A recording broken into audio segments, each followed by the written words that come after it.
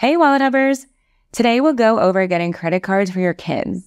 You can get credit cards for your kids by making them authorized users on your credit card account.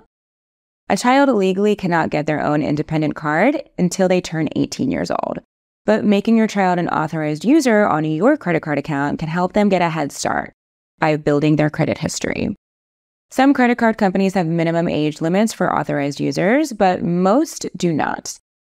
When a primary cardholder pays the bill on time and maintains low credit utilization, any authorized users on the account benefit from it. An authorized user doesn't even have to use the credit card to reap the benefits. Also, some card issuers allow primary cardholders to set spending limits for each authorized user, which could come in handy if you're giving a credit card to a child.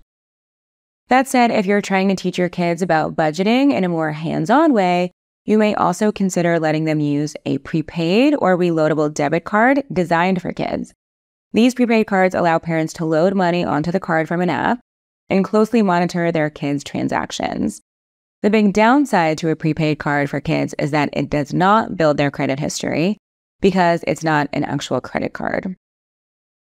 You can learn more about getting credit cards for kids on WalletHub. Just click the button right here.